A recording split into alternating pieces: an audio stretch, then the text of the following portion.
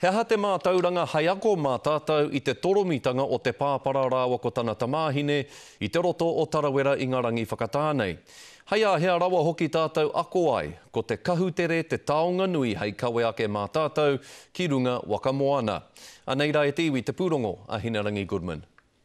He tohu aroha ki te tokorua i Toromira i te wā e hoe waka paku ana ki tēnei takiwā o te roto o Tarawera inanahi. Yes it was, it was a very tragic event, um we we got a call round about ten past eleven that a couple of people had fallen out of a kayak on Lake Tarawera, um we immediately uh, sent all the emergency services. Ki ngā whakamārama, ko tahi noa te tātua haumaru i wāinga i araaua. The father and daughter were in the kayak. Um, the daughter had a, a XL adult life jacket on. Um, when they've capsized, the life jackets come off.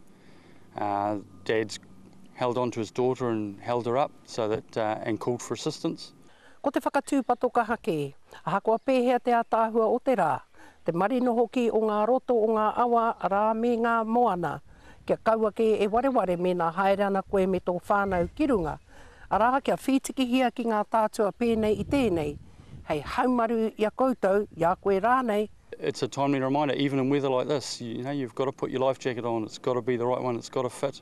Um, so that you know you do come back safe. There were several kayaks and life jackets at, at the house.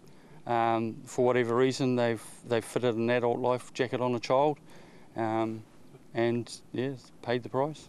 No ngā whenua o āhia, engari e noho ana i tā maki makaurau, i te harare i taua whānau i konei. There's a heap of lakes in Rotorua and, and they're there to be used, but let's make sure we've got the safety gear. Let's put life jackets on. Let's Make sure that we go out and play to come home. Nā reira, kia tū mataara. Ko Hinerangi Goodman, mō Te Karere.